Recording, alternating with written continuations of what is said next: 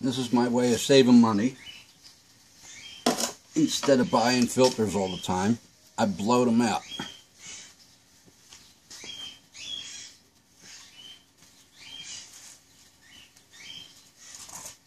Bird feathers.